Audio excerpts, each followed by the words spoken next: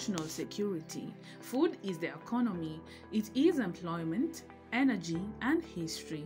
Food is everything. But what happens to a society dominated by poverty, where food is a rare commodity, where parents no longer care for their children and the children have to scavenge for themselves? Naitwa Bishop Rose. Hili jina Bishop nimepewa na hawa watoto. Kiwango yangu ni Reverend, ama clergy ni Reverend, lakini watoto wakaanza kuniita Bishop. I'm Bishop right now, lakini nitakuwa ordained hivi karibuni as a bishop. I'm Reverend Rose. Uh, na mimi ni mlemavu lakini sikubali ulemavu. Sina mguu mmoja, mguu wangu ulikatwa nikiwa mtoto mdogo miaka ine. Nimekuwa hivyo mpaka nikafika pahali nipo sasa, lakini ninapenda watoto sana na ninapenda watu wote. Hakuna mtu ambaye anaweza ingia na hii gate aseme ana njaa akose kukula ama kukunywa kama iko. Mi naitwa Marion Wangoi Bisho. Mimi nasema naona kitu ya Lucy ni mzuri. Ukiona mtu analia ajili wa, ya watoto na si wake, ananipigia simu ananiambia, Marion, nitafanya nini? Si ukuje, gari yangu hata ina mafuta na ninataka kwenda kutafutia watoto chakula. Anaaja kulia, namwambia unalia nini? Wacha tuombe. Tunaomba na tunaona Mungu. Poverty is a very complicated issue, but feeding a child isn't. And Bishop Rose believes if you cannot feed a hundred people, then feed just one. Kuna kitu ambacho mimi nilijiamini ya kwamba ninaweza nikaongea, I can speak for somebody, ninaweza nikaongea kwa sababu ya mtu mwingine, kwa maana nimeona hapa wachungaji. Wakikuja hapa ninawapee masuti. Nimeomba kwa niaba yao, yani ninamwangalia akihubiri na vile amekaa, naenda tu naambia watu. Na niko na wahubiri wanahubiri vizuri sana, lakini vile wamekaa wamekaa vibaya. So unakuta naitiwa manguo. Suits, very nice suits, na mimi nawaita wanakuja hapa wanachukua, na hivi kama ni hawa watoto. Yani niliona ya kwamba niende tu vile ambavyo nilienda nikaongelesha na muhindi, nikaongelesha muhindi. Niende yani niongelesha watu ambao wanaweza wakapeana. Wengine huwa hawapeani, hata ukimwongelesha anaongea lugha ingine, lakini sifi moyo, naenda tu nikiongea, na nimeenda mahali kwingi, kama ni chakula na, na, naongea na marafiki, naongea na watu, naenda kwa makampuni ili atanisikia anisikie, na kuna wale wananisikia na ninapata, na nikipata ninakuja hapa tunapika.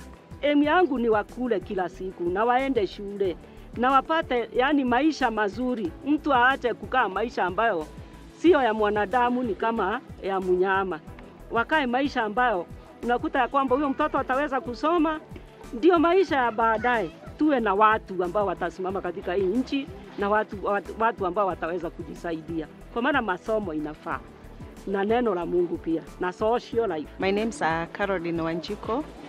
Um, a single mother na huwa na saidiana na my mom Bishop kufanya hii kazi. Wakati alianza uh, ilikuwa challenge juu saa zingine kuna places anahitaji kwenda, ana mtu wa kutuma. Sometimes uh, kuna chores around, hakuna mtu, so nikabidi niache kazi zangu uh, nikuje nikuwe full time uh, volunteer tufanye naye kazi. They say inside every good story, there is always a dark spot, and vice versa. The East calls it yin yang. Inside the story of a little girl who fell into the arms of quacks and had to bear the pain and scar of their incompetence for the rest of her life. Nilizaliwa nikiwa, nikiwa mzima kama watoto wale wengine wale wako hapa, lakini nikiwa na miaka nne nilianguka tukiwa tunacheza na watoto wale wengine. Tulikuwa na my brother na watoto wengine pande za, za kule Kutus. Alafu nilipoanguka mguu ukawa umevunjika, nikawa na fima ni ikawa nipelekwe hospitali Kirugoya, lakini mama yangu akasema hata nipeleka Kirugoya, atanipeleka nyumbani ndani Murang'a, mahali baba yangu alikuwa nakaa. So tulienda hospitali na nikalazwa, lakini ikawa. Mguu ule ambao ulikuwa umevunjika ndio mzuri saa hii. Huu ndio ulikuwa umevunjika mguu wa left, lakini mguu wa right ukaleta shida, kwa sababu ile traction walikuwa wameweka walikuwa wameweka miguu yote, wamefunga miguu yote juu, so mmoja ikawa imekazwa sana na mguu ukadevelop shida ya mishipa kukosa kupeleka damu. Mguu ukaanza kufura na ukaanza kuwa mweusi kutoka kwa vidole. So wa mama mmoja akakuja akateta sana, kwa maana mtoto wake nilikuwa kitanda moja na, yeye alikuwa karibu, anakuja naona ninalia sana na mguu umekuwa mweusi. Mama yangu alikuwa anaona, lakini anasema anaogopa asiambie daktari nisidungwe shindano ati nikufe so alikuwa anaogopa uoga, alikuwa na ugoma mwingi sana. Mi nilikuwa naona baba yangu anakuja analetea sai sikunywi kwa sababu nilikuwa na uchungu mwingi sana. So baba yangu analia, nilikuwa naona machozi yake, hayuko uhai saa hii, hata mama yangu hayuko uhai. Analia, naona analia, anaenda, ananiangalia, anaenda. Ikaendelea hivyo mpaka huo mguu ikawa utakatwa. So mi niliona nikipelekwa eh, theater nikiwa vio hivyo mtoto tu mdogo, lakini baadaye e, sikujua ni nini ilifanyika. Ndio kesho yake niliamshwa nikaoshwe. Wakati niliamshwa nikaoshwa, ndio niliangalia nikaona mguu umefungwa sana na bandage na kuna damu. Uh, nikataka kutoanisha kwa sababu sikutaka kuamini sina mguu na nilikuwa katoto kadogo, lakini daktari akaniambia we, wacha so akanikalishia pahali kwa bafu e, ile ya basin, alafu sasa akanipanguza sana na kitambaa, akanipanguza kila pahali mpaka eh, kwa, kwa mguu, lakini nililia sana sana sana nikimuuliza mguu wangu umeenda wapi. Nalilia mguu wangu sana sana, hata wakati nilipelekwa nikavalishwa nguo bado nilikuwa nalia tu, nataka mguu wangu. So ikaendelea hivyo, ikawa ni kama ni, ni, ninaanza kuzoea kuzoea, lakini nikaanza kuwa mtoto ambaye ako na hofu ya aina fulani. Nilikaa hospitali miaka miwili, na kile kilifanya nikae miaka miwili kwa sababu huu nao ulidevelop vidonda, kwa sababu walikuwa wameweka chuma pande hii na pande hii inashikanishwa na hapo chini. Hapa chini panakuwa na chuma ambayo ina, ina cross hivi So kwa sababu ya kuchoka sana kujaribu kujipindua, nayo hiyo chuma inakula mguu. So nikawa na vidonda kwa miguu ambayo vidonda vilikuwa vibaya, na nikawa ni ikaniweka miaka mbili pamoja na mgongo kwa sababu ya kulala sana, kwa maana nilikuwa nalala hii eh, kifulifuli. From our observation, by spending a full day with this mom, it is clear that disability is not inability, and with no doubt, no one is ever limited. Hao watoto wanatoka kwa manyumba yao. Kuna wale wako na wazazi, kuna wale hawana wazazi, na wanatoka wengine wanatoka kijiji kiko na hapa kinaitwa Jerusalem, wengine wanatoka pande ya Ndwaru, wengine wanatoka pande ya, ya, ya Kabiria na Midhonge, sehemu hizo zote. Wanaambiana wanaambiana. Mtoto unajua, akiwa na shida anaambia mwingine, tunapeaga namba, tunaendaga mahali tunapewa chakula na ile namba yangu nilitaka niwe nayo, nilitaka niwe na watoto mia moja, lakini nikakuta ya kwamba wale wanajaa ni wengi. Kwa hivyo wakati walikuja sasa wa, nikaona wamekuwa wengi, kile chakula kiko kinagawanyishwa kidogo kidogo kidogo kidogo, at least wanakula. Mtoto anatoka akijua ya kwamba hata kama nimekosa leo ama nilikosa jana, leo nimepata na nimekula.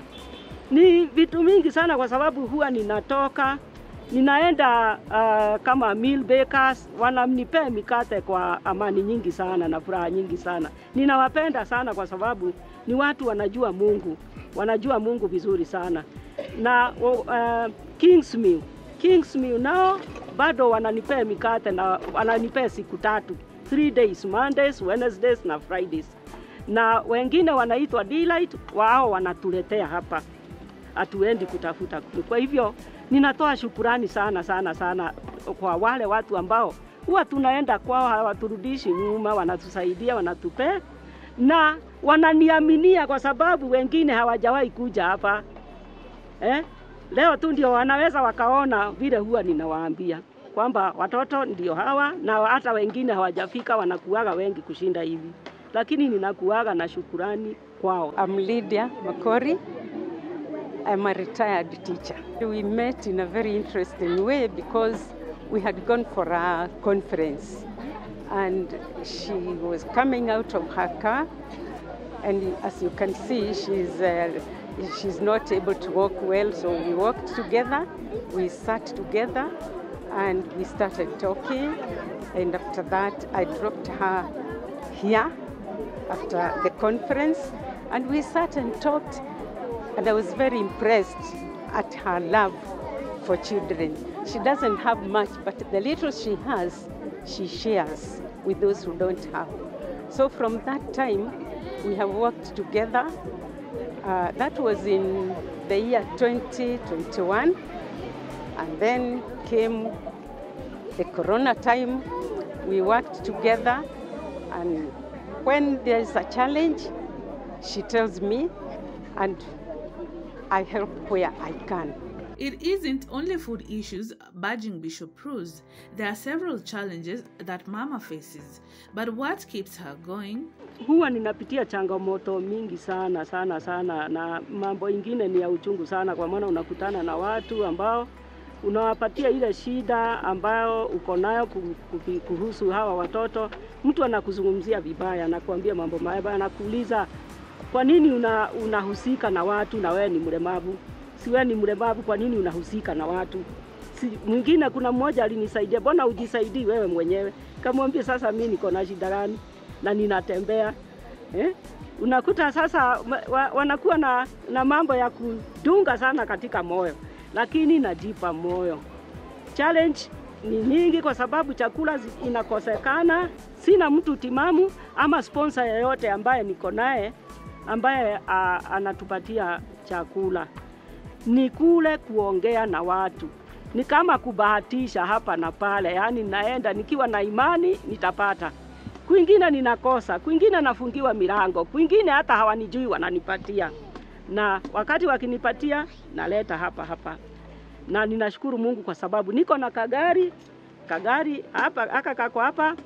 Huyo bishop wangu ambaye ni Harrison Archbishop Harrison Ng'ang'a ndiye aniona ninateseka, ninaenda miguu, akanipa hii gari ili niweze kuwa ni, ninafika pahali ambapo ninataka kufika. Aliniita kanisani akanipa funguo namna hii, akaniambia hii ni gift yako, fanya kazi kulingana na vile Mungu atakuwezesha. Kaniambia mimi hiyo kazi unafanya siwezi, lakini Mungu atakusaidia. Uta, utafanya kazi na utaendelea. Kwa majina naitwa Evelyn Agosa Okongo. Bishop Rose ni a great friend of mine, a mentor. Niko na passion ya kukaa na watoto wa streets, everybody that is in need, wajane, kila kitu tumekuwa tukisaidiana na yeye. Tunashukuru Bishop Rose kwa kazi mzuri anayofanya, kama matibabu kama haya anakosa mtu wa kumuunga mkono apeleke mtoto kama huyu kwa daktari na apate matibabu. Kwa hivyo tunazidi kumwombea Mungu amfungulie mlango hata tukapata facility ya kuwa na uwezo wa kuleta madawa mahali pale tunatibu watoto hawa na wazee wengine wako miongoni mwetu, tutashukuru Mwenyezi Mungu. Her dreams are valid and she just won't stop aiming higher. Mimi ningependa na maombi yangu inakuwaga hivi, mtoto yeyote asipotee, na mtoto kutopotea, Mungu akinipa pahali pahali ambapo panaweza kuwa pawe na, na hall pawe na mahali, pahali ambapo wanaweza kulala. Shule ikifungwa wanakuja, tunawafunza vile tunawafunzaga hapa wakati wa, wanaendelea na shule na make sure vile ambavyo huwa nafanya ninaweza kufanya ili wa- hawa watoto waende shule. Shida ile ambao imekuwa ni kwamba tukiwa hapa kama leo hivi, mvua inaweza ikanyesha. Ikinyesha unakuta wanajaribu ku, ku, kujisukumia huku na huku, ujue hii ni nyumba ya mwenyewe. Unakuta wakati mwingine tunamuumiza tuna moyo, lakini sina njia ingine, namwambia tu nisamehe. Unakaa huku hivi na bado tunanyeshewa tu. Wakati mwingine chakula tunakula, kuna wakati mmoja tulikula chakula mvua ikiwa ina, mvua ikiwa inanyesha na sikuwa na njia ingine, hatuna hata tent, hatuna nini. lakini huwa ninaomba Mungu sana na ninaomba saa hii kwa sababu ninajua kuna wengi wananisikia. Tafadhalini, kama unaweza uwe na kiwanja yako pahali utupatie hao watoto wawe na pahali ambapo wanaweza kuja tuwahudumie vizuri zaidi ya vile tunafanya bila kunyeshewa. Unakuta kwa choo kuna, eh, kuna choo pale, lakini sasa hiyo choo wakati mwingine hao watoto wakipiga hii kona waende na hapo hivi, makelele inakuwa nyingi sana huku na shida inakuwa mingi. Nakuta wakati mwingine inasemekana hao watoto wataiba, ni waizi. So nikipata pahali nitafurahia sana sana sana sana, mahali ambapo hawa watoto na wamama na washosho mtu anaweza kuja afunzwe kufanya kazi ya mikono na afanya, kwa maana walimu niko nao, ama artist, nimefunza wengi watoto hawa. Wakati wanaenda shule wanaku, wa, wakikuja wakati shule imefungwa, wanakaa tunafunza, tunaendelea kuwafunza. Kuna mambo ya mikono hiyo ambayo ninasema wanaweza wakafunzwa, na ninajua watu wengi ambao wako na skills, wako na mafunzo ambao wanaweza funza hao watoto. Tukiwa pahali petu tunaweza fanya makubwa. My mom is a hero. That's what I can say because uh, kuna wengi sana huku nje but uh, huwa hawa- hawana hiyo mawazo and the fact that naonanga zile mashida ako nazo anajideny because she, she doesn't have sponsors wenye wanasimama na yeye. Ile kidogo anapata from well wishers ndio huwa anatoa. I have learned so much from her na in life huwa najaribu kuemulate venye anafanya because uh, even me in, in future ningetaka kuendeleza hii kazi, maana ninaona kujitolea, najitolea kujinyima for the sake of others, na hiyo ikafanya mpaka hata mimi niseme I'll follow in the same eh, nishimshikilia afanye dream zake zikuwe uh, fulfilled. So I really appreciate her, na for me ni kumwambia mwanadamu hawezi mlipa. All she is doing nobody who can but God can. So ni kuomba Mungu aendelee kumpa nguvu, aishi siku nyingi uh, na so that whatever she is doing iweze kuleta glory back to God. There are very few people who are like Rose because you see, she doesn't have much, but what, whatever little she has, she wants to share. Like now, you can see this crowd of children. If she can get a place where she can house them, she can even start a school. And that's what we were discussing before you came. She needs a place where she can start a school and uh, so that she can help them in the best way possible. Nashukuru Mwenyezi Mungu kwa Pastor Rose, amekuwa mtumishi wa Mungu wa kujitoa, ako na moyo wa kusimama na the needy people, anasimama na disabled, wajane, machokora, hata any pass by person who is sleeping hungry, we feed them, na amejitolea kwa moyo wake wote ambapo tunaomba mtu aliye na moyo kama ako na kitu anashindwa atapeleka wapi, tafadhali tunaomba azidi kusimama na Pastor Rose ili accomplish hiyo mradi yenye Mungu amempatia, amemtika katika mabega zake afanye.